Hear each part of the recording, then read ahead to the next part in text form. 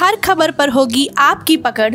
Subscribe करिए हमारे channel विद्रोही आनंद को और बेल आइकॉन दबाना न भूलिए।